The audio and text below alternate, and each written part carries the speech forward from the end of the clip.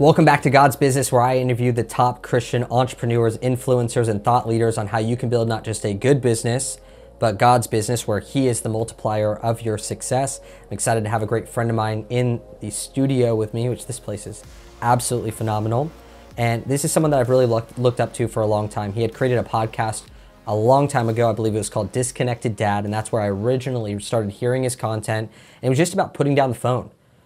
What, how do we reconnect with our kids? How do we raise up kids in the ways of the Lord where they don't depart from it, not raise them up in the ways of the law and judgment and things that literally every kid departs from? There has to be a difference. If, if Scripture says that they don't depart from it when you raise them up correctly, then when all these kids are departing from it and running away from it, then that obviously has to contradict the very thing that we just talked about. And I, I, I, followed this guy. He had reached hundreds of thousands of kids. He had been the children's pastor at a place that I went to school, which was Bethel Church in Redding.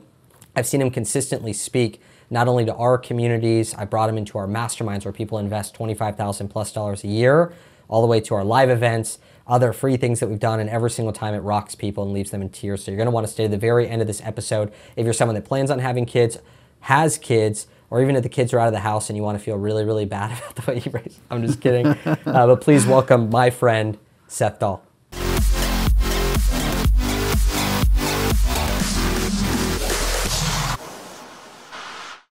Hello, so good to be here again. Yeah, I so bet fun. I bet it's annoying when people hear your content when their kids are already like out of the house. At that point, like, what do you do?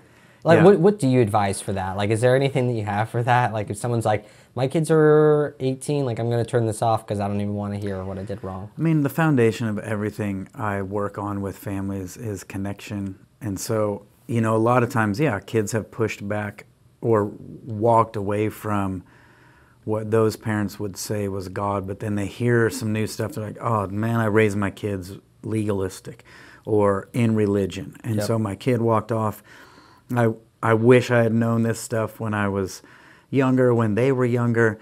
But at the core of it all is connection, relationship, and repairing that. You know, even if you got little tiny kids, you can damage the connection and you got to repair it. So I think it's yeah. never too late. You know, it is never too late to go, hey, you're 18, you're out of the house. I messed up. I want to build connection. I want to reconnect. I want to I want to have our relationship get strong again. And from there is where all the fruit happens. You know, in I like that you're doing God's business now. It's like, oh, we yeah. can talk about God freely. Yeah. No, no, no worries. You know, in the new covenant, the behaviors that God wants are fruit, right? Like love, joy, peace, patience, kindness, goodness, gentleness, faithfulness, self control. That's all fruit, which means something grows that. It's not something you manufacture, it's something that can automatically come. And so when a parent's like, hey, my kids are old and grown and I messed up and I wish I would have known this, like, oh, you can you can actually go take care of those roots. Wow. And new things will start to grow. A new relationship will blossom and bloom. And yeah, it's just not too late. Yeah, I mean, you, you even live on acres here in Austin. You mm-hmm. did before in Southern California. Yeah. Is that where you were born before? in Northern California. Yeah. And and so no matter what, you had acreage, and really at the end of the day, you could look at land and go, "Man, that stinks. Weeds have only grown here." Right. Like, what am I going to do? But yeah. you just well, you, you, can go pull them. Yeah, you go pull them. You till the land. You. Yeah. And what's so interesting as well is, is maybe you can hit on this with that is that even when I read like a, a, seed falls on rocky soil and it grows and fast, but then it, it yeah. doesn't, it can't take out. roots. Yeah. It, it, thistles, uh, sun, etc. Uh, what I got from that and that what I've used from it is that when you look at farming, and you would know this better than me, right? Your hands are probably like you probably did something this morning. is that they say morning, that the farmer takes more time clearing the soil than he does planting the seeds. Yeah. And I thought that was so interesting. When it comes to that new environment like that, like, what's some of the practical things that you've seen work for families that maybe want to start clearing out some of the soil and, and planting. Because yeah. imagine you just start planting new seeds. I, yeah. I, look at that like, hey, son, we've, hey, daughter, we messed up your whole life. Uh, why don't you come to church with us? We've really changed our life, right? It's like mm-hmm. new seed, no clearing, no no connection, you no. Gotta, yeah. You know what I mean? You got to demonstrate that first. You've got to give them. If you've given them a lifetime of experiences telling them something else, it's going to take some experiences to contradict that. So we can't just go in and say, hey, I'm changed. Yeah. No, you want your actions to to show that. You want the kids to come back and go, something's different. It's been different for a little while. What's going on? You know, I I realize I messed up. I've been changing my life. I've been working on stuff. You want the kid to go, I see fruit in you. I see change in you. You want them to see that versus go, all good now. Sorry. Come on, come on back. Like, oh, you got to demonstrate it. Like th- that's that's a really important thing. You know, I I love um, I love farms, gardens, because I think we've lost touch with a lot of that, and it's Yeah. so key to all of life. But I also love like animals. We we've got a bunch of animals, but like dog training, it's really important that if if people have had bad experiences with dogs, right? Like a dog bit them, so now they're super afraid. They they don't want to go near dogs. They they freak out, paranoid any anytime they're near dogs. Like oh, I can't just tell you that's a safe dog. That dog's fine. That dog's gonna be calm with you. No, they're freaking out. Why? Because they're experienced. So what needs to happen is I can't just tell them that. I need to introduce them to experiences that show them there are safe dogs. There are dogs that aren't gonna just bite you for no reason. And the experience have to contradict the experience. You can't just say it. It's the same with families. Like, hey, if my kid's been bit by mom and dad for a long time, I probably need to stop biting and let them see, like, oh, I'm safe. Oh, I'm mm. loving. Oh, I'm kind. And then they can go, hey, what's uh, what's happening there? There's so much I want to get into with even just controlling kids. I, I just talked to a lady the other day that grew up in a very religious household, and it got to the point where all the parents in this community had to commit to raising their kids the same way. Only the kids that were inside of this course or curriculum could hang out with each other. Yeah. And anyone who was Wow. a part of that had to commit that they were all raising the kids the exact same way. And it was like fear. It was a lot of these things of what I would probably Sounds say like control. cult. Yeah, and, and even they would say that, that now. And- But I even catch myself, right? Is like, I want my son to prosper so bad that I wish that I could literally control it rather Yeah. than rather than kind of tend it, plant it. Mm-hmm. These things are fruits, like you said. I think that that was really cool. I anchor that there also for people to know, hey, we're going to get into that. Yeah. I, one thing I've never asked you before is I never really asked you how you grew up. Because like our examples, a lot of times as a kid, we'll either do the same thing as our parents or the exact opposite. Yeah. And both of them usually aren't that great. Yeah. Like they're, Yeah. my no. parents didn't buy me anything, so I'm going to spoil my kid. Yeah. Uh, my My parents. parents spanked me all the time, so I'm never gonna. Never spank. gonna- I'm never gonna discipline. Discipline at all. Yeah. So what was what was it like for you growing up in your family dynamic? I don't know how I never heard this before. Yeah, my my parents got divorced. I think I was not even one. So I'm a baby, and my dad is gone. He moves to another state.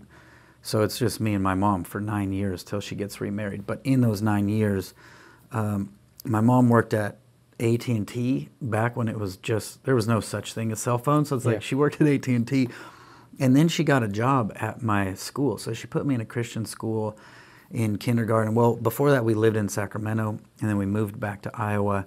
Puts me in a Christian school, gets a job there. So it was like a lot of times she would drive us there, and I'd hang out with my mom while she worked, and then I'd go to school, and then come back and hang out with mom. And so she was she was making it happen as a single mom, mm-hmm. you know. And so, yeah, I grew up only child for nine years. Then my sister, that she got remarried, my sister came along. So I have a sister, and I can't. I got a stepbrother then as well, but he never lived with us. So I was basically like an only child for a And long then time. where was as a Dad? He was in. He lived in Washington D.C. for a long time. Then he lived in uh, Denver. Then he. So this wasn't in- like a hey, you'll get this weekend, I'll get next weekend type just deal. me and my mom all the time. Like, and I, yeah, I- the way I describe it, like we were talking about just divorce and, you know, your son's coming to the age where that's when your parents got divorced. I'm like, man, I, I, I'm almost every day, like my little six-year-old right now, he's the youngest one. He's just punching all the time. Like we just fight. He just wants to fight. So we're fighting, punching. He's block. He's trying to learn how to block because Yeah. I just knock him left and right. It's great.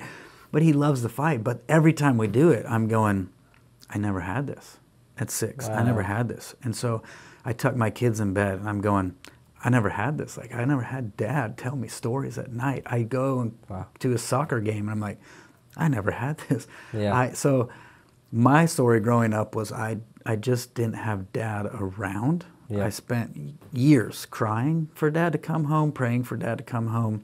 My dad would come visit a couple times a year and leave, and I'd just cry because I wanted him to stay. Then my mom gets remarried. I'm like, I don't want a stepdad. I want my dad. So there was friction there. My whole from nine till I moved out was just lots of friction. So yeah, that's that's kind of it in a short Yeah. form. But I yeah, so for me, it's kind of like I want I want to give my kids what I never had without overreacting. You know, a lot of times what you mentioned, I would call it, the, yeah, it's just overreacting. So you find out like, wow, I spent my whole childhood in a ditch, so I yank the wheel, and I end up in a different ditch, right? So, so I some of the areas I've struggled, not struggled with, but need to pay attention to, was like, oh, I want to be home with my kids. And so sometimes it was like I'd feel guilty or I'd feel horrible if I'm like, oh, I'm traveling to go speak somewhere and do something. I'm not home with my kids. I'm not, I missed a soccer game or I missed, like, wait, hold on. Just because I never had a dad at home doesn't mean I can't ever leave or not be home. Like, no, I actually need to get on the road here and go, I'm home a lot. And when I'm home, I'm as present as I can be. If I'm not present, my wife will call me on it, and so I get present again.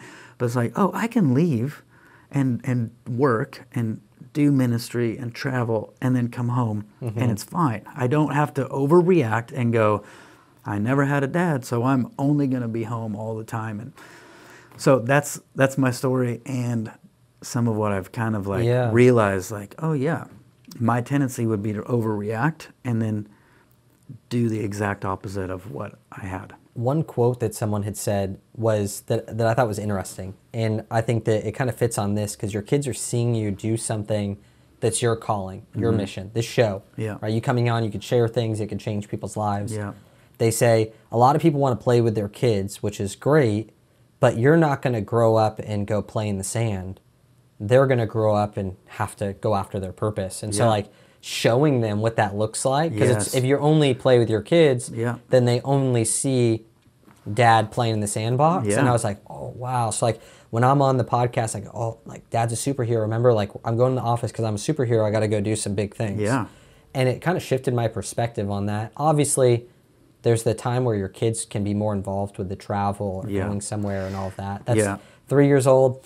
No. Not, it's not. you guys quite just that went to Malaysia. but- I was like, oh Lord, Yeah. I was praying for you guys. Like that's a long flight. Yeah.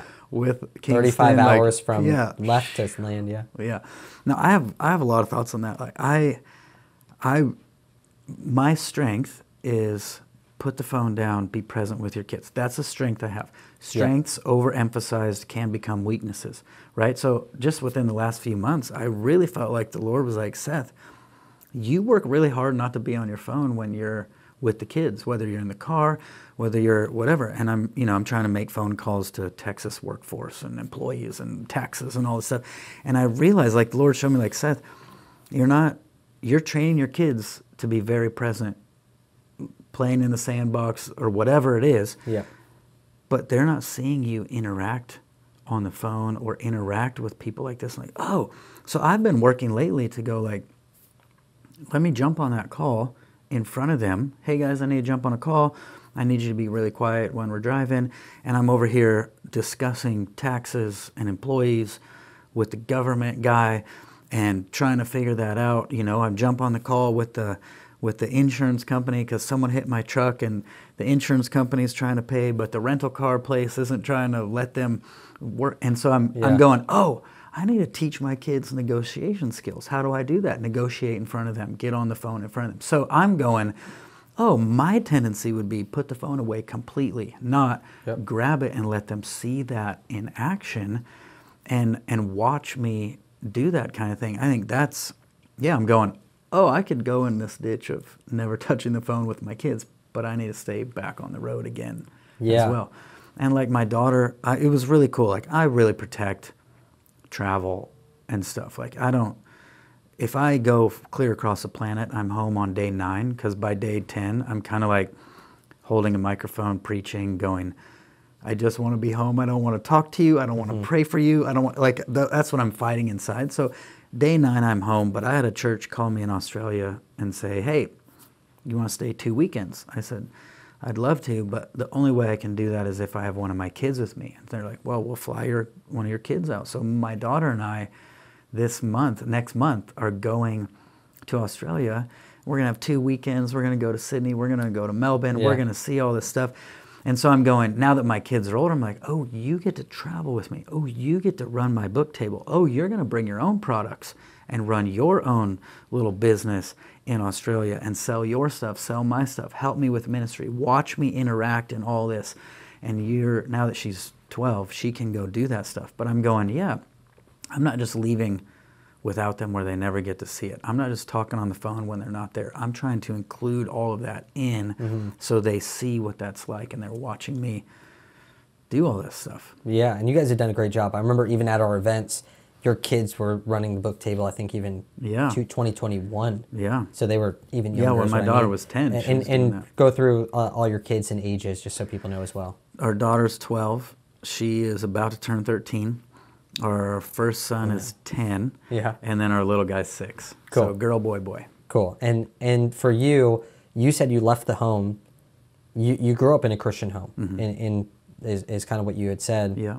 Yet that that wasn't something you, you didn't just go into like youth ministry. I mean, you were in No. you were in children's ministry even before you even had kids. First Yeah. off, so you were in, interacting with kids. So walk me through that process of leaving the home to Yeah. your Jesus moment because it sounds it's so interesting. Like for me, I didn't grow up in church. Yeah. So I didn't have this, I'm in the flow of it, but I need to make my own decision. Yeah. I was just like, I don't know anything about this. Yeah. And so I just had this this one time that I made my own decision. Yeah. My friend here, even he'd been in church five times. My uh, another person I talked to, they were. I told you they grew up in a Christian household, but it was so strict. Yeah. It was like, it, Yeah. it wasn't. It wasn't fruit. It was control. It was Yeah. like manufactured Yeah. for you what was what happened when you left the house and you got out of that environment that you were maybe constrained in Yeah. Well, before I left the house, I had already walked away from. I thought walking away from God, I was walking away from religion and all that. So, 16, I started doing drugs, uh, started smoking weed. Get caught, first time, expelled from school. My dad's like, you can either go to homeschool and get a job and get straight A's and figure this out, or you're going to military school. I'm like, well, I'm not going to military school, that's for sure. Yeah. I'll figure this out at homeschool and get a job. Well, then, so 21, I didn't actually move out till I was 21, but by then it was much worse. I was addicted to, well, I quickly, as soon as I moved out, I quickly became addicted to Coke, which turned into meth, which turned into messing around with acid, mushrooms, and then ecstasy showed up. And I was basically like, screw everything. I just want to eat and snort ecstasy all day, every day. And so I quickly became a drug addict and had to sell drugs just to pay for my habit. You know, I broke the rule don't get high on your own supply. It's like, well, I had to have somebody else's supply just so I could get high. Yeah. Like I had to sell it to, to do it. And so, yeah, I, I ran as fast and as far away from God as I possibly could, thinking I was getting away from Him when really I just was trying to get away. I was actually looking for Him, trying to get away from religion yeah and and so yeah fast forward a couple years of just hard drugs all day every day and i end up with a gun in my mouth gonna pull the trigger and i'm like I, w- I, I literally say to myself i wish i would have listened to my pastors and my teachers and my parents i wish i could start my life over and then out of my mouth said i said i wish i could just be born again and I feel someone walk in the room. Like I can't see anybody, but I know he's there. And I hear out loud, basically out loud. I can't tell if it was out loud. It felt out loud in my head. It was so clear, so loud. I hear, You must be born again. And of course, I'm the Christian kid who knows, I know who's talking. I know what verse that is. I know where it's at in the Bible. I know all that. And I said, Jesus, if you're real and you can make me born again, you got to make me born again or I'm pulling the trigger and I started weeping and confessing everything. And I fall asleep I don't know how long it took. I fell asleep just weeping, and I wake up the next day totally delivered from drugs. And somewhere in that night, this is how I got in children's ministry. Somewhere in that night, I said, Jesus, if you get me out of this, I will help kids not go down the path I went down, which was learning all about God, knowing the Bible, not knowing the author, learning about God, but not knowing God. And so I was, so within, it was only, it was like two days, and I'm in youth ministry. Like I, I, I wake up from this, I wake up the next day totally free. I'm like, I don't, I, I, I walked outside, I'm like, wow, the sky is really blue. I thought, I was just so drugged up for so long. Like I living inside, snorting ecstasy and mixing ecstasy and coke and acid all at the same time, just off the rails, stupid. And and I'm I'm outside like, wow, I haven't seen this. Like everything was new. Like I wasn't just new, everything was new to me. And two days later, I see a kid a guy, a grown man now, but he was a kid. We were in junior high together. We always got in trouble, so our parents wouldn't let us really hang out. I'm like, I wave at him at a stoplight. We pull over. I'm like, Josh, I'm a Christian again. He's like, Seth, I'm a youth pastor. Come to my youth club. So the end of the week, Friday, I go to his youth club, and he's got all these skater, goth, punk rock kids. They do a skate park, and then they preach the gospel and have all these bands come in and and do shows and then preach the gospel. And he sticks a mic in my hand. I share my testimony. And so I'm like, before I can even figure out what's going on, I'm like ministering to young people. And I told God, if you get me out of this, I'll help kids. And so that's where my whole ministry started working with kids and parents and everything was this one phrase, one statement comes out of my mouth. I'll help them. And when you had that moment, like the gun in, gun in the mouth, you get to this like you know there's a lot of things that happen to get you there a lot of emotions. A cry for help you know is like also there. Yeah. And was it effortless do you feel like that whole night? You know some people would be like oh, i really want to experience god and they put all this like maybe effort in and yeah. and they, they like search and dig and do all these things. When that happened did you feel like you were maybe along for the ride or or you know yeah. engaging with it because you obviously could have tried to maybe run away from it and be like, no, no, no, and run out of that room. Yeah. How did you engage with that moment? Because a lot of people, maybe even right now, will will look at the look at us and say, okay, well, let me try this. Yeah. You know, maybe you're trying it right now. Like, okay, God, like if you're going to speak to me, speak to me now. Yeah. How are you present, engaged, and and just tell me how that moment was. Yeah. Maybe other moments are different, but that specific moment, did you have to try? Did you have to fight for it? Did you have to stay focused on it? No, I mean, I felt like I got thrown inside of a fire hose and there was no getting out. Like there was no effort, no trying. Jesus said in John, somewhere in John, I don't know off the top of my head, he said, You did not choose me, I chose you and appointed you to bear much fruit. And I, I felt like for me in that moment, that verse became the experience. Oh, you, you saw me. You were watching me. I was trying to run away from you. You never took your eyes off me. You see this happening. You, you hear my heart, and you come in the room and you speak to me. And I, the way I would describe it is like the sin the poor decisions, the emotions, all of the stuff that had been swirling around and got me to the place where I was forced its way out of me. I couldn't stop it. You know, G- Paul said, it's the goodness of God that leads to repentance. Like, like goodness grabbed me and said, "Come on, I'm taking you wow. to repentance." And that's what I felt like happened. It was like I, I literally confessed everything. It was like thoughts actions that I hadn't thought about were forcing their way out from inside me and just coming out of my mouth, like almost like projectile vomiting sin out of my life was what it was happening. You know, you can't stop it when it's like, I'm gonna throw up. Like you're not you're not holding that back. That's yeah. what it felt like to me. Like I could not stop this thing if I tried.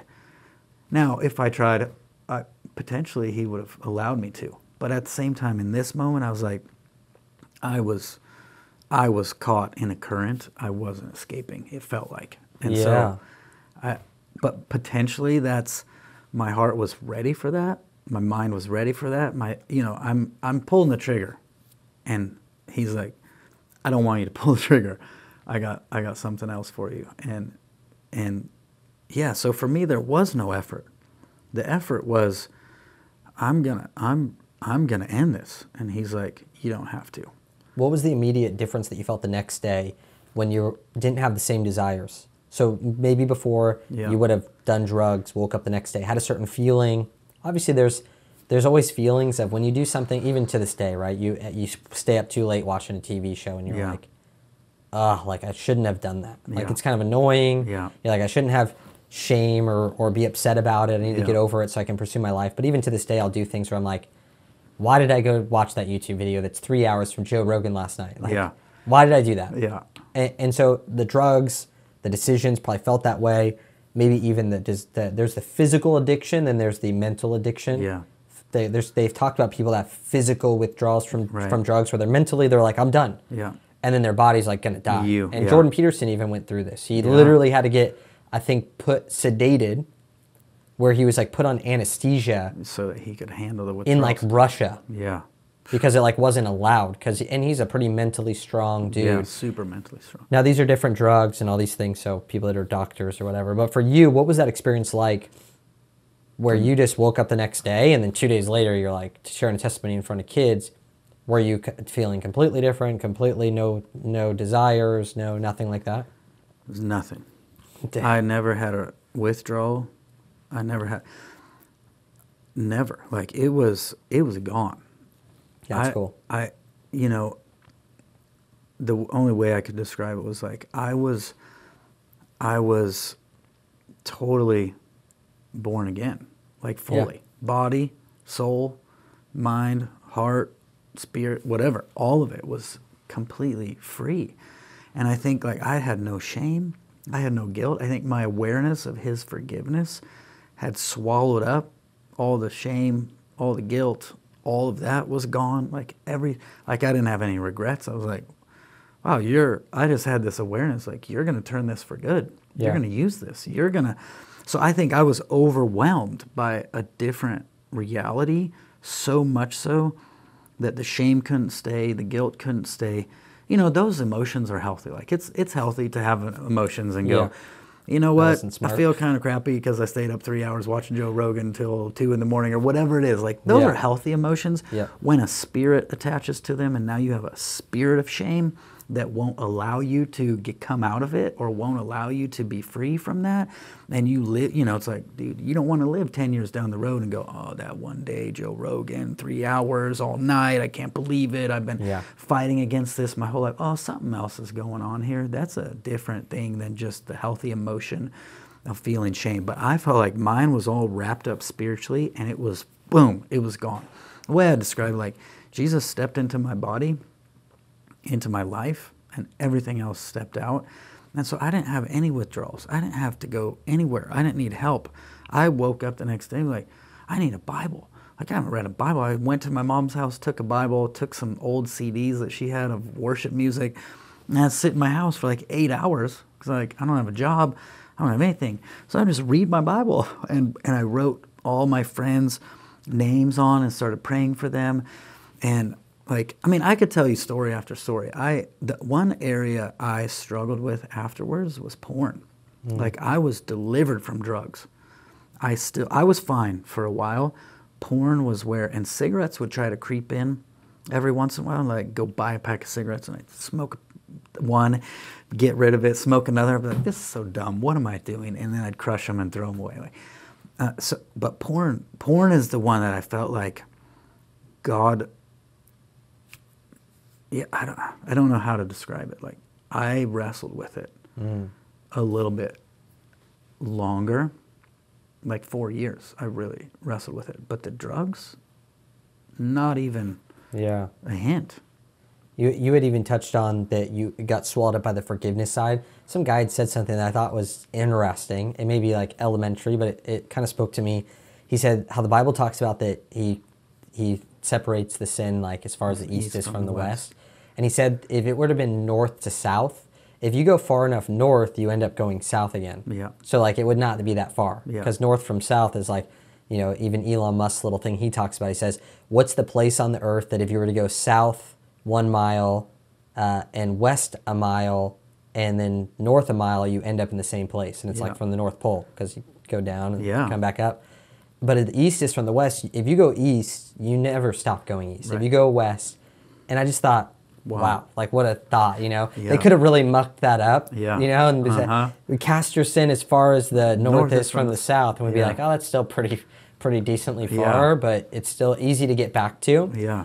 Uh, I, you know, you go you go from this place to children's ministry. Kind of walk people through how long ago that was, and, and some of the things that you've done since then. I have some things I would love to jump into. Uh, Mm-hmm. Yeah, so kids. my mom calls me one day because I was going to Josh's church, my friend who was like, come to my youth club.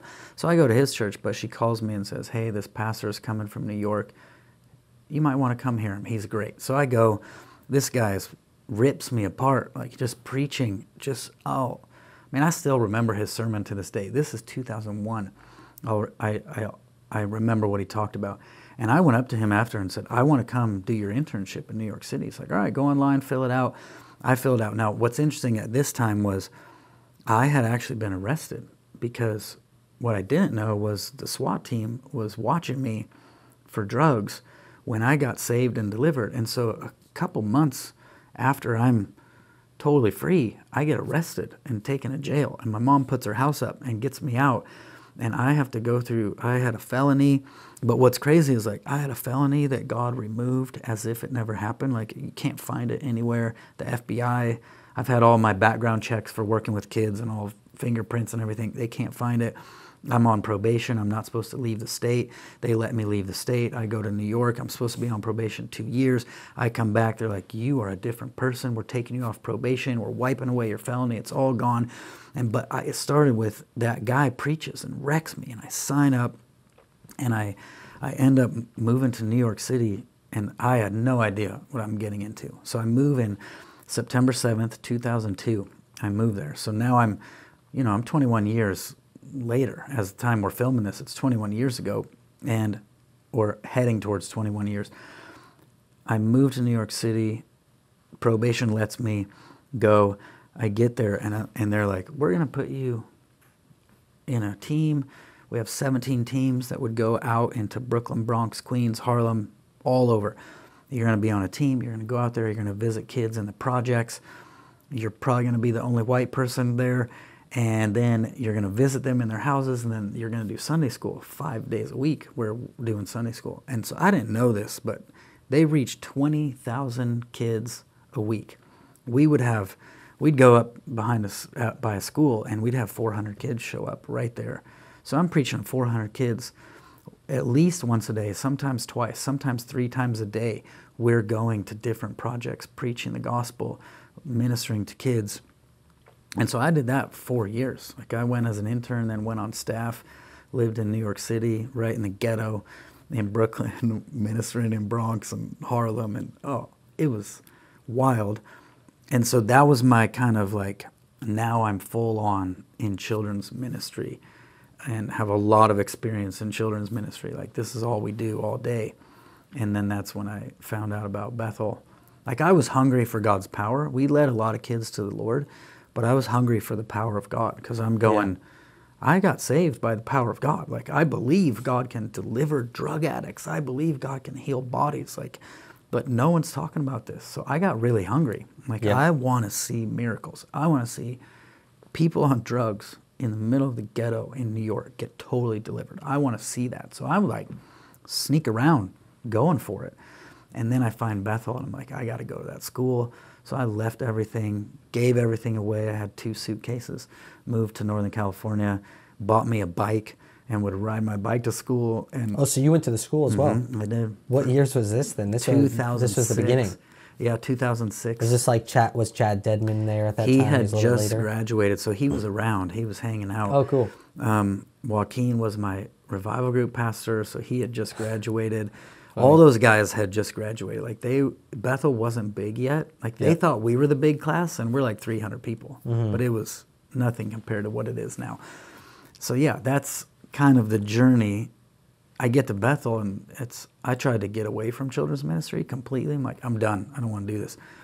And God like wouldn't let me off the hook. Like He just was showing me he was showing me so many things about kids that I'm like I would be a fool to not go back into kids ministry because of what I'm seeing, what God's showing me. Like I feel called to this by God. And so fast forward, all of a sudden I'm doing sidewalk Sunday school like I did in New York, but now we're doing it in the trailer parks of Redding with like 30 kids. Like there's no 400 kids anywhere near because it's a small town compared to New York City. So like, all right, we got 20, 30 kids in the trailer park rather than 400 in the in the projects. And so I started there, then became children's pastor, then children's director, and then started realizing like, oh, if we don't help parents, we're I'm not helping kids as best I possibly can unless we get in the home.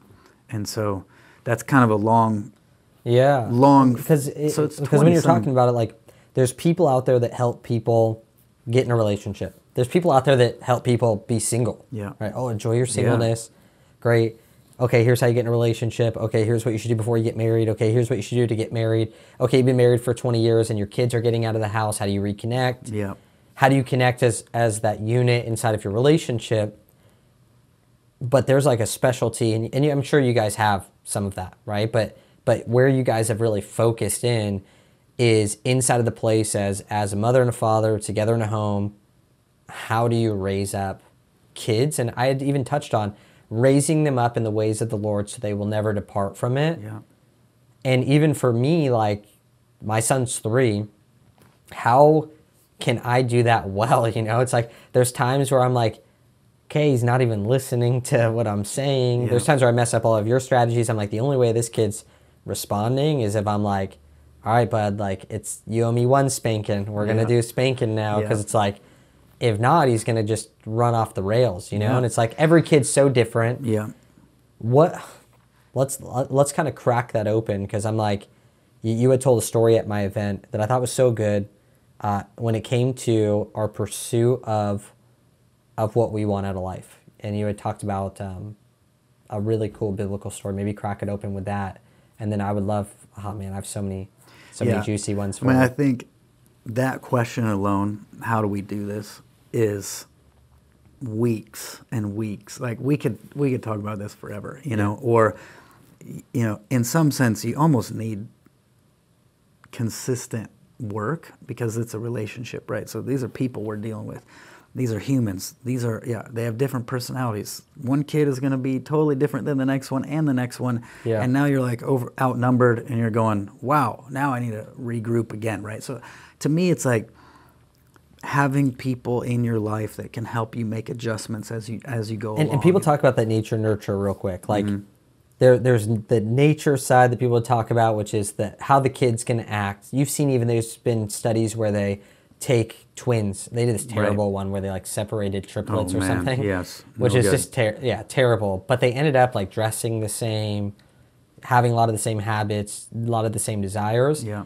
and, and maybe people see this with kids where they have a di- like I have a same my brother has the same mom different dad and my sister has the same dad different mom Yeah. so there's just like different DNA. lineages yeah. Yeah. so there's that side of it as well for some of the people out there that are like i'm trying to do my best and my kid is just acting this way what's the balance of that hey some kids are just going to act this way because that's just part of their DNA, and some kids are are going to act this way because of their environment. How much does the environment affect it? I think they both do a lot. I think part of, like, a way I would say this is we want to nurture their nature. And we want to create an environment where no matter what their nature is, they can thrive.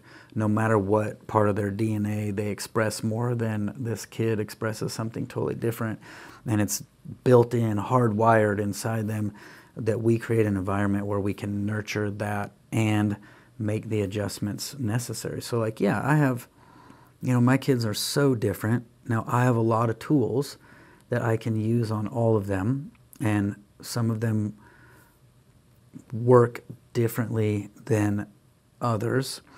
Like you're saying with your guy, like, oh, sometimes he needs a spanking. Like, I'm also not opposed to spanking. Like, some people are. In some countries, it's illegal. So I got to help families in those countries. Like, you can't ever pull out spanking, or you might get fined or go to jail. So, like, you know, how do we how do we nurture their nature when when I really feel like a spanking would help, but I can't use it. Like, okay, you can't use it. So we have a lot of tools, and sometimes it's ha- I have to use the same tool differently with one kid than I would with another because this kid's more sensitive to the the tone of voice that I use, and this kid's more like, you know, for like Kingston, like, hey buddy, you owe me a spanking. Like maybe you can say that to him, and then you have a girl, and you you go, hey girl, I'm gonna give you, and she melts down not because of the spanking, but because of the tone of voice you used when you said it, right? So you're gonna use the same tool, Yeah. but different approaches and how you use it because of who they are. And I mean, I think the topic is so massive. It's like, yeah, we want to. I think part of the emphasis with that verse you quoted is train up a child in the way they should go, and when they're old, they won't depart from it, right? So, train. I think Christians a lot of times get stuck training up children in all the ways they're not supposed to go.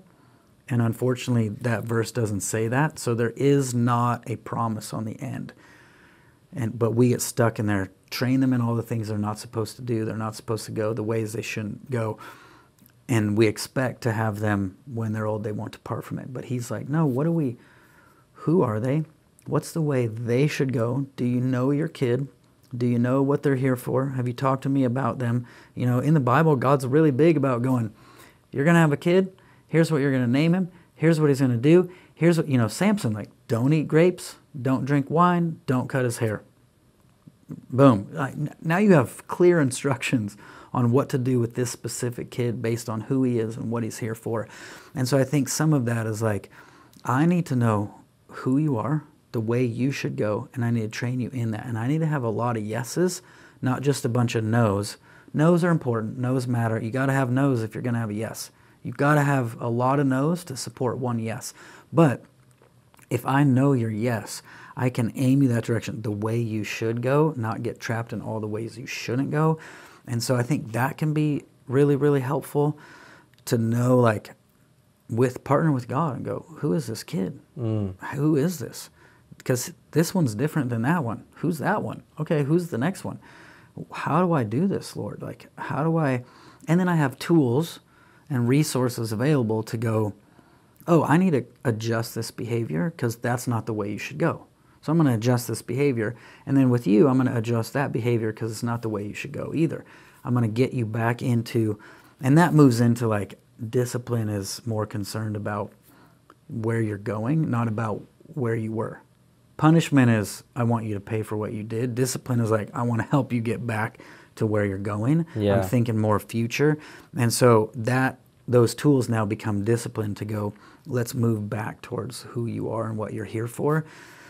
But that story, you know, the story in the Bible is Judges 11, the Jephthah story. And and real quick, like for the people that are watching as well, like he has books and courses that go through these practical tools that I highly recommend. Where's a, where's a place that they could see books and tools? SethDahl.com. Seth Just Dahl, my D name. A H L Yeah. dot com.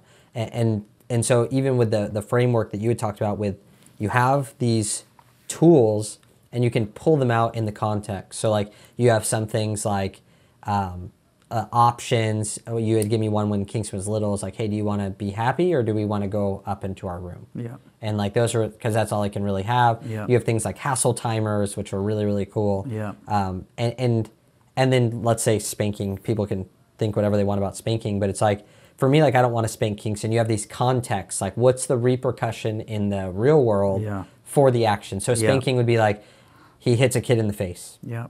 you know, or hey, Or he's he's- hit, or he throws a, a a golf club when there's a baby around Yeah.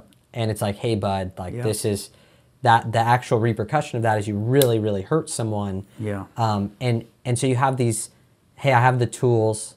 But now with the context of who my kid is, where they're going, what their destiny is, how they're emotionally, how hard are they on themselves compared to Yeah. how not. Like Kingston, it, you can say, you could be as harsh as you want, and he'll laugh And at he's you. fine. Yeah. Yeah, yeah. Eh, Maybe every once in a while you'll Yeah. get him on like a certain day. For the most part, you're not going to be like Kingston, no. You know, if, and again, that's him putting his hand in the fire. Yeah. Kingston, no. Yeah. He's not going to be like that freaked out about it. Yeah. Usually, not like my friend's daughter. If they even pull out like the word no, and I've noticed he's sensitive to no. Yeah. So I try to like not really use stop and no because Mm-hmm. it's like a don't tell me no, don't tell me no type thing. And I've had to like navigate that. But ba- based on the tools that you provided in your books and your trainings, Yeah. I can kind of whip them out, kind of like a job. You know, it's like every once in a while there's going to be a nail and there's Yeah. going to be, you, know, the use the opposite side of the hammer to pull out the nail. Yeah. And, and different tools. So I wanted to address that beforehand. Yeah, like, so spanking is a good one, like, to help understand this.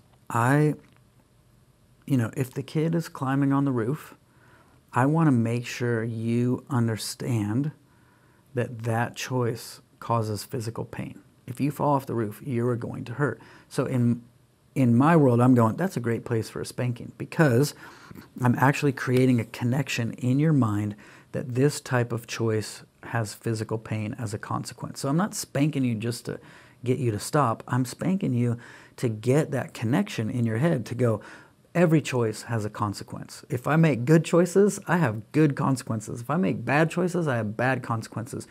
And that's where discipline comes in. Like, I'm disciplining you to make connections in your head to understand what I do has an effect. And so if you're climbing on the roof, if you're throwing golf clubs at babies, like that's a great place to go. This causes physical pain. These kind of choices cause physical pain. Now, a lot of parents spank for everything. It's like, mm-hmm. well, most of what the kid is doing doesn't in the real world, in their in grown-up life, physical pain is not the actual consequence for that type of choice. So I need to introduce different tools to create different connections. That's my job. How do I create connections in your head to know what type of choices have certain types of consequences? So hassle time is a great example. Like if you're not coming in the house and brushing your teeth and getting ready for bed when it's time to go to bed, I don't want to spank you because in re- in the real world, you know, no one's going to come and hit you for being late to work or late to your company or whatever it is. Late to school, no one's going to hit you. You're going to have a different type of consequence. So mm-hmm. hassle time is like, hey, all right, you don't want to come in and brush your teeth and get ready for bed? No problem. Hassle time's on. Take as much time as you need. Right. So I'm giving you power to make your own decisions. I'm not trying to control you to quickly throw that in there. You know, God's not interested in control. Otherwise, the fruit of the Spirit wouldn't be self control. Right? He's trying to grow self control in our lives. Even when we give our lives to Him and we're like, take me over, take over my life. He's like, all right, here you go. Now I freed you from all the things that controlled you. Now you get to control you again. And I will work with you and partner with you and and help you. But ultimately you still get to control you. And so in the context of kids, like, oh, I don't want to control you or I might violate what God is trying to grow in your life. And so hassle time is like, hey, you don't have to come in. It's bedtime. You don't have to come in. Hassle time's on. Take as much time as you need. There is a consequence. I've just told you there will be a consequence, hassle time. But you have the freedom to decide what you're going to do. Are you going to come in and brush your teeth? The consequence changes based on how long you're out there. If you stay out 20 minutes, the consequence changes based on how long you stay out there. So you decide the consequence you want. So hassle time is I'll let you go and do what you want to do and I don't want you to do, but you, I'll, I'll keep track of the time, right? So you don't come in for 20 minutes, no sweat. All right, cool. Let's brush teeth. Let's get your pajamas on. Let's get you in bed. You got 20 minutes. You can't use hassle time at three years old. He needs to be at least five, probably. But Because right now he doesn't care about the future of something being no, gone. it has to connect right now. That choice has a consequence right now. Like legitimately, tomorrow. I'm like trying, and it's like, Yeah. hey bud, we're gonna take away your toys, and he goes, okay, Yeah. take away all my toys. Yeah. Like I don't know what that means right now. Yeah. And then later, it just is with a bigger yeah, problem. with your age, they need to have the consequence happen immediately, so they connect it to that choice. Hassle time is five and over. You can use it and go, "Hey, you didn't brush your teeth. You took 20 minutes. No sweat. You owe me 20 minutes." Then tomorrow, when it's time to watch a show, "Hey, you owe me 20 minutes of hassle time." or in my favorite story is when we were going to Legoland and this happened. And my kid had 17 minutes of hassle time at Legoland. And so literally he's sitting in Legoland watching all the children come in and paying back his time. I let him pay back 7 minutes at the pool the night before, which was torture to him because he's watching everyone else swim and he's got 7 minutes here. The next day he's got 10 minutes still at Legoland. All the children are coming in. He's watching them. He can hear them. The rides are going, and he's sitting there waiting for 10 minutes. Feels like an eternity. But I'm going, hey, you got hassle time. You got to pay me back. Like, you you did that thing for 17 minutes, and now you have to give me back that time. And so, you know, it's it's that tool is so powerful because then for six months, if he heard the word hassle start to come out of my mouth, boom, he's in doing brushing his teeth, getting ready for bed, whatever it is. Like he does not want to pay back hassle time, and so he's realizing I'm in control of me, but there are consequences for my choices. Mm-hmm. If I make that decision, there will be a consequence. It's real life. I'm not spanking you because you didn't come brush your teeth. I'm letting you rack up time and you can pay me back when it's a hassle for you. It was a hassle for me when you didn't brush your teeth. Now it's a hassle for you when you're trying to go to Legoland. And so it's a real life consequence to con- to build the connections. Not showing up on time, not doing the thing I need to do does have a consequence. You know, now it's like, hey, if Nicholas doesn't show up Yeah. for the company, there's a consequence. Yep. There's a there is a consequence for you, but it has nothing to do with somebody hurting you or physical pain. It's like, Yeah. oh, it's financial pain if I don't show up. So I teach myself to show up so that I get the consequence I do want, not the consequence I don't want. Yeah. That happens in childhood, and you know, uh, it, can happen in childhood where kids learn to make those connections when they're small. Like in your age, I call it the reset chair now. Usually it's like, hey, you're doing something, whatever it is. You're yelling at your brother, you're yelling at, he doesn't have a brother yet Yeah. to yell at, but like, no, you guys are fighting, cool. Hey, grab a seat in the reset chair. They go get a seat. Guys, as soon as you're ready to talk like this, come on out. As soon as you're ready to not punch each other, come on out. As soon as you're ready to eat dinner, come on out. So instead of like, hey, it's dinner time and you don't want to come in, oh, I'm not going to let you just rack it up and make you pay it back later. I'm going to have you sit down and go, hey, if you're not going to eat dinner, cool. But you don't get to just freely play as much as you want while we eat dinner. You get to sit here. So I limit freedom and boundaries. I limit, I give you boundaries around where you can go. I take away a little bit of your freedom until you make the choice to come eat dinner. And as soon as you do, all your freedom is returned. Or you're fighting, I'm going to limit your freedom. I'm going to give you boundaries, ba- put a boundary around you, sit in the chair. When you're ready to not do that anymore or you're ready to talk like this, come on out. So there's boundaries that removes freedom, but you get to decide when you get your freedom back. Okay, I'm not going to talk like that. Cool. Come on out. Okay, I'm not going to fight. Cool. Come on out. Okay, I'm going to eat dinner. Cool. Come Yeah. on out. So you have freedom and boundaries at the same time, and the kid is empowered to make the call of when they get to come out and when they get their full freedom back. Yeah, you you've been a kid, you've been in youth ministry and, and children's. I was youth is older in church, but you know, small people. Yeah. You've been working in this a long time. Obviously, even had this encounter where it felt like God was like, "Hey, this is an area that you're going to cover." Yeah. You've worked with families, you've worked with kids, you, you've seen a lot of things, so you've had more reps than maybe even a parent would. Yeah. You're also a parent. Yeah.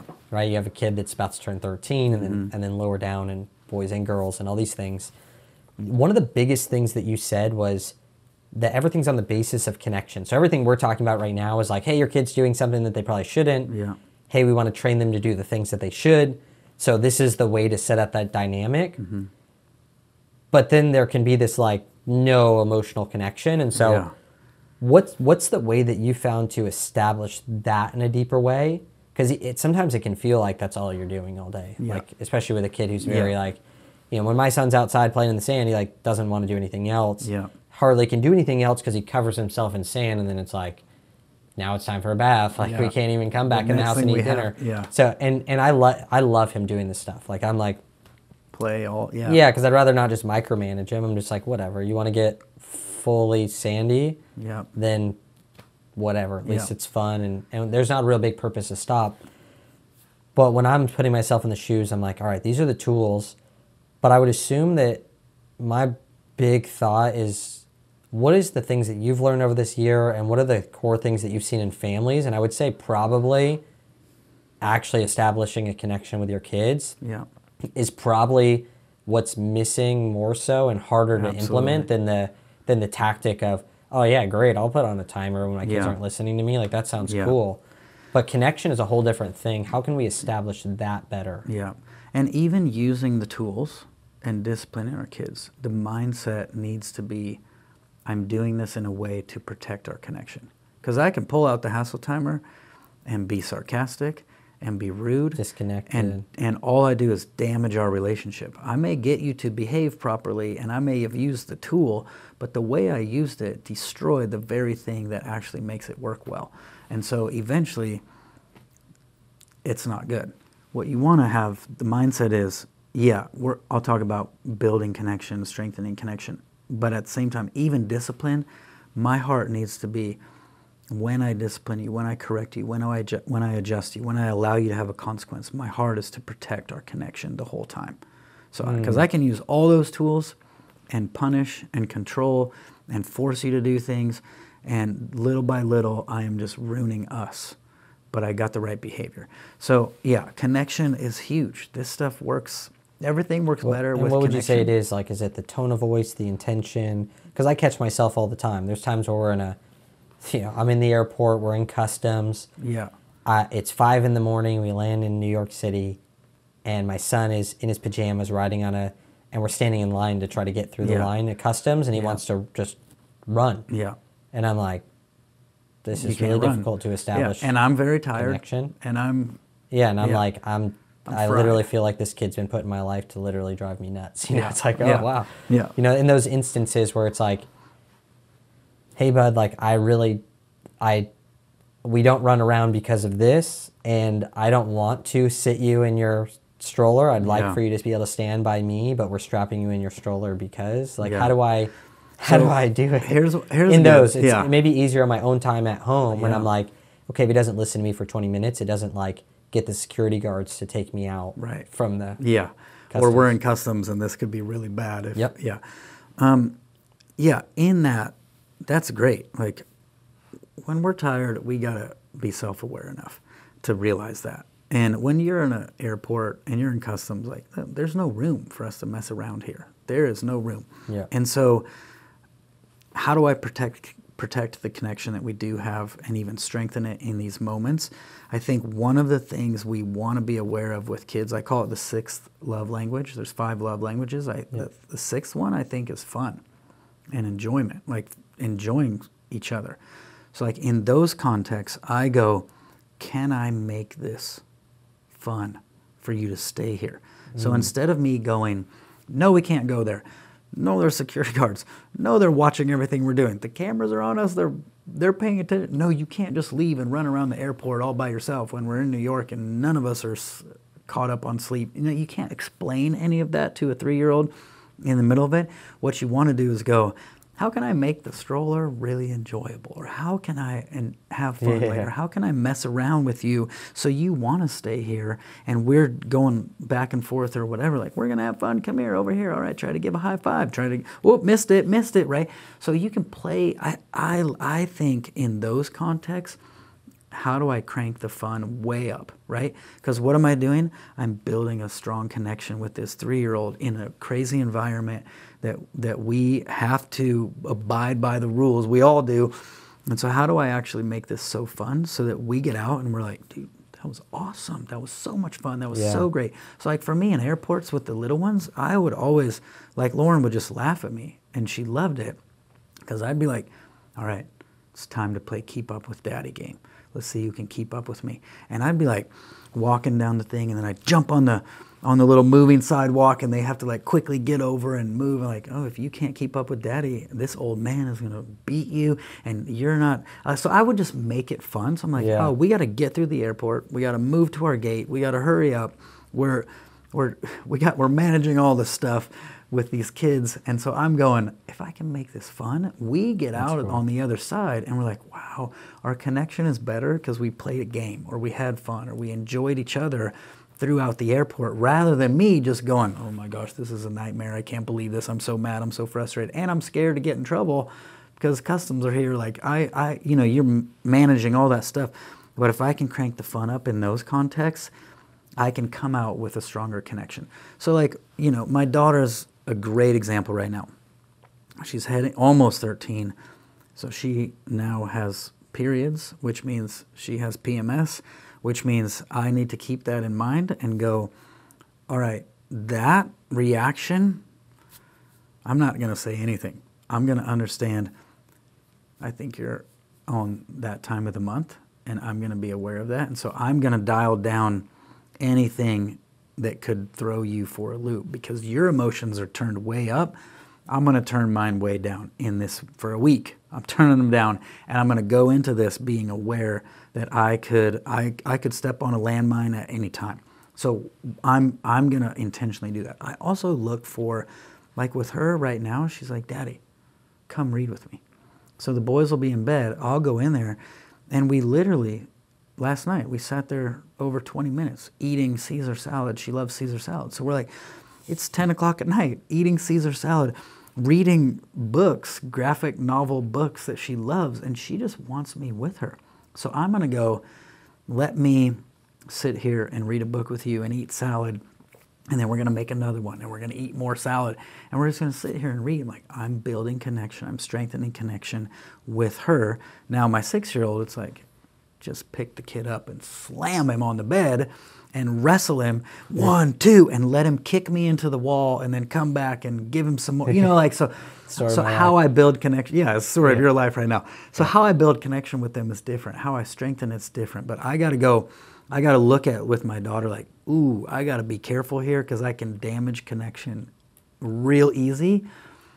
But I'm also looking for what are you asking for? What are you what are you looking for. Oh, you just want me to read a book and sit in your room. We're not even reading the same book. You're reading one, I'm reading one. I'm like, hey, did you see this? This is hilarious. Yeah. You know, it's it's it's these funny little books, and she's like, Dad, check this out. So, just being there with her in reading books, that's for her. It's a quality time. It's a love language, quality time. And so that's that. I think with my son, it's physical touch, quality time, slamming him on the bed, wrestling him, you know, all yeah. that. So but that's you know love languages are a great way to connect. Understanding yeah if you had a kid that's on their period okay i, I need to protect this even harder than i normally do because this is a wild ride. But i'm looking for those kinds of things yeah. to connect with them. So it's not just i'm correcting behaviors all the time adjusting behaviors that stuff's important. But i'm also going when i do that i want to do it from connection. You know like if we're really connected, if we're like locked arms, when I turn, you turn. If we're not connected at all and we're like, bro, hey, come over here, come over here, come over here. I'm trying to convince you to come with me, but if we're connected, you you come automatically. Yeah. And so that's kind of the picture. I want to be locked in with them in our hearts. So when we need to make those adjustments, it's a lot easier for them to come along. So good, first off some of the things that come up for me is I'm trying to think of there's got to be a core thing that you see people doing wrong. Like you're seeing families and kids and dynamics like that. Just because we're wrapping up, I'm like, oh man, I have so many more things I want to ask. Same thing. I know. With, I feel like, like I'm like, oh my goodness. Uh, one of the things I'm thinking of is like, what's a biblical thing that maybe the world does so different that's like very simple. So like, let's say for business, a lot of times it's transactional buying and selling kingdom is sowing and reaping. Very yeah. good distinction. You can tell the difference and you can talk about it. And that, yeah. that's like a big epiphany.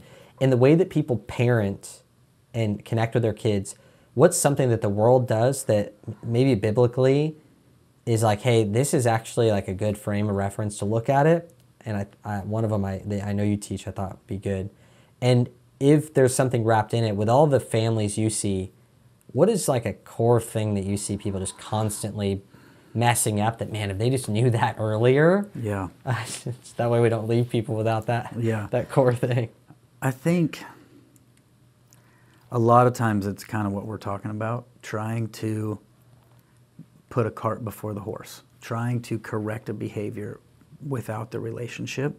And so there's sometimes where i've literally just told parents like hey you're looking you're looking for tools but the way you're using them is still to try to control your kid. I mean, I think actually that's what it goes into.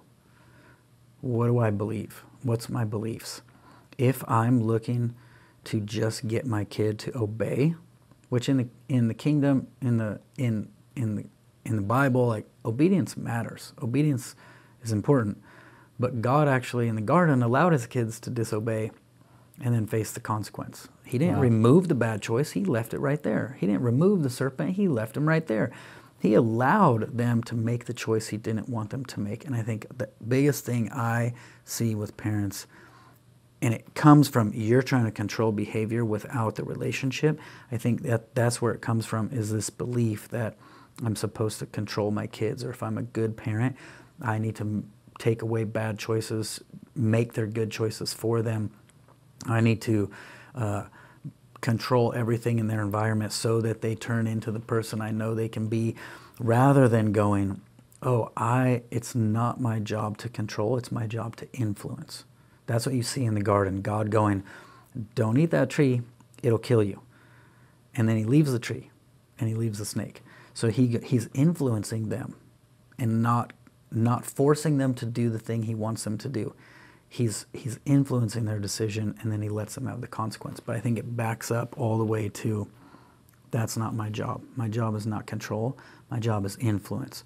So I need to influence based on relationship, not just getting advice. Christians are really good at going, give me advice, tell me what to do, I'll, I want my kids to obey. I want my kids to listen to me. Just tell me what to do so I get my kids to listen.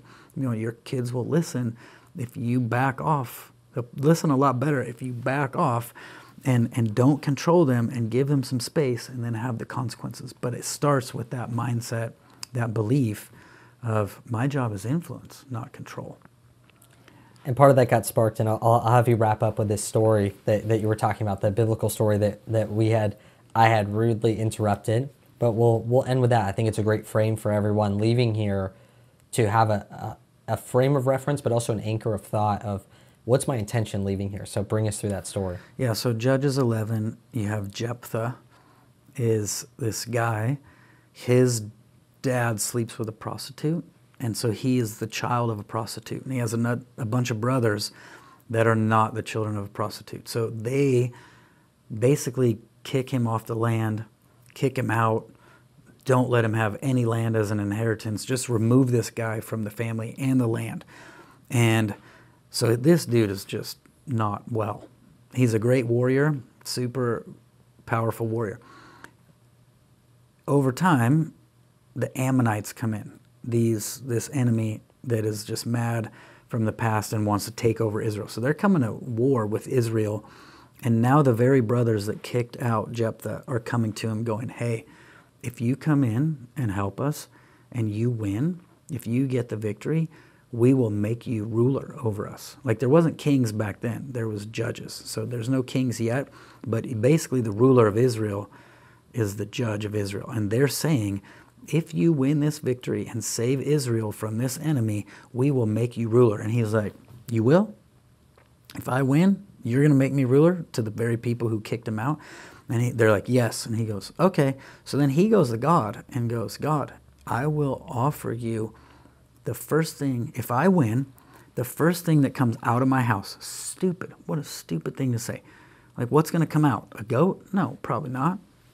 He says, Whatever comes out of my house first, I'll offer to you. I'll give to you. I'll sacrifice it if you give me the victory. So he goes to war gets the, I mean, the story is longer than this, but he gets the victory. They win. He's coming home, and out pops his daughter, his only kid. She comes out the door. She's dancing. She's like celebrating his victory. And he just breaks down and is like, I have to sacrifice my daughter because I got the victory. And so he ends up, she goes off for a while to mourn that she'll never have children, and then he sacrifices her. And so the story is like, we don't want to sacrifice our kids for success. We don't want to we don't want to sacrifice our families on the altar of and that's why I I love this. Like you're you're doing both. You know, I think it's Proverbs 10, I think it's 22 says the blessing of God makes one rich and adds no sorrow to it. All right? So like we want to we want to succeed in business and have our family succeed, not yeah. sacrifice them on that altar. And but I have to ask myself, myself looking at that, like, how did this guy get there? Oh, he was hurt by his family. Yep. He was hurt. He had family wounds. He had family issues. And so all all of his he ends up wounding, not not just wounding, completely destroying his family because his childhood wounds weren't healed. He's coming into this thing a wounded boy that's now a powerful man that wants success in the fa- in the eyes of his brothers, in the eyes of his family, the very people that hurt him. He wants success there, and he's willing to destroy her to get it. And they're like, "Oh, your wounds got much worse because you didn't get them healed." And I think that, you know, that whole control thing, that whole belief system around control and, and just wanting obedience, not not not influence, not cooperation. We just want obedience, and I'm going to control you to get it. Like that stuff comes from how we were raised, how we were brought up, or it's a reaction to how we were brought up. And so we have that thing. I think I think it comes down to if I want to have the right beliefs, I probably also need to get healed from my stuff. Mm-hmm. So like that's what we I focus a lot on that kind of thing. Like I actually want to bring healing and restoration to your theology about God, what you believe about God because what you believe about God right now, I will take a fast rabbit trail. Like with kids, here's what I've seen. I've seen it for 21 years now. Kids believe their parents as theology no matter what Sunday school teaches them. So Sunday school can teach you Father God is loving, Father God is kind, Father God is patient, Father God loves you. And then they go home and the dad dad doesn't. That kid will struggle to believe God is who God is because of dad, because of mom, because of their family situation. So fast rabbit trail, we become the theology our kids believe, no matter what Sunday school teaches them.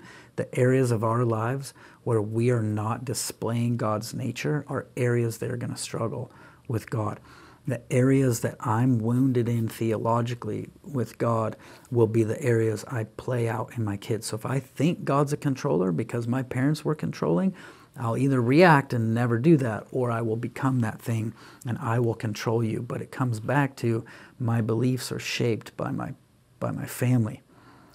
No matter what Sunday school tells me.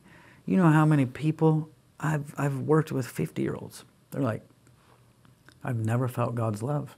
Now, these are people who've been saved their whole life. They can quote all the scriptures about God's love. They could preach sermons on God's love. They don't feel it because dad only gave love when they performed. Mm. So their performance takes all the love and their person never gets it. And now this parent is struggling with her own kids, but it comes back. So I, I feel like I'm kind of talking in circles, but that belief, that belief is not my job to control. It's my job to influence oftentimes has its roots in am I healed or not? Am I whole or not? I'm living out based on my health or based on my healing or my wound.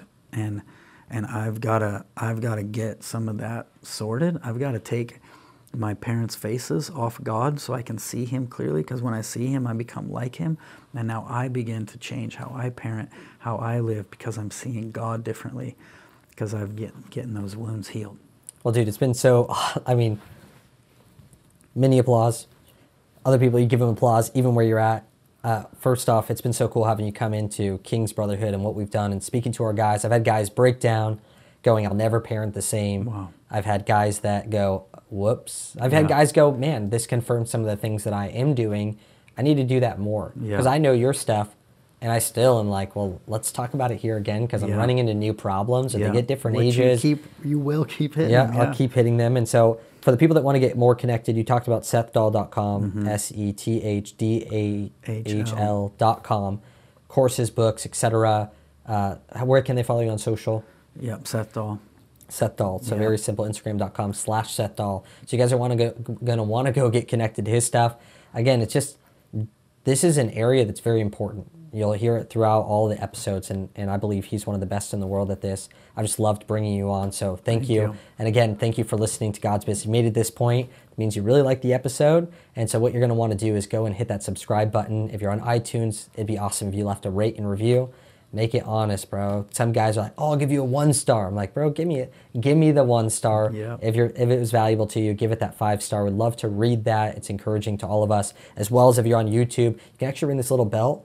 Watch the video version. You can see our emotions and all the dynamics to it. You can ring the bell to get uh, notified when we drop new episodes, as well as subscribe so that we're right there and easy to check it out. Thank you for watching God's Business, and thank you, Seth, for being with us. Thanks for having me.